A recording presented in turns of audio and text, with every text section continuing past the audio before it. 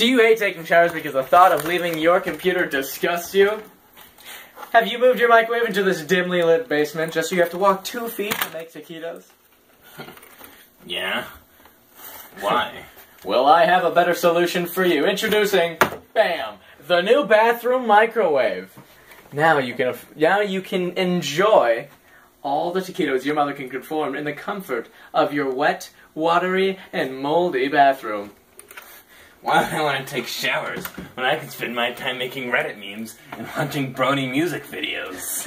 ah, well, that's at your own shortcomings to your hygiene. Your parents hate you, kid, and I'm here to help you.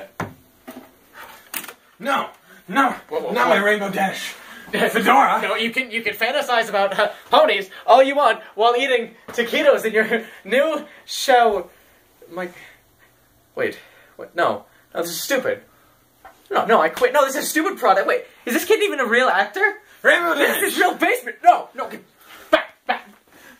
Rainbow Dash! No, no, no, I'm gonna Jim. burn this. I'm gonna burn this and I'm gonna Jim, end this What are you doing? Right Jim, now. no, no, Jim, it's Jim! Jim!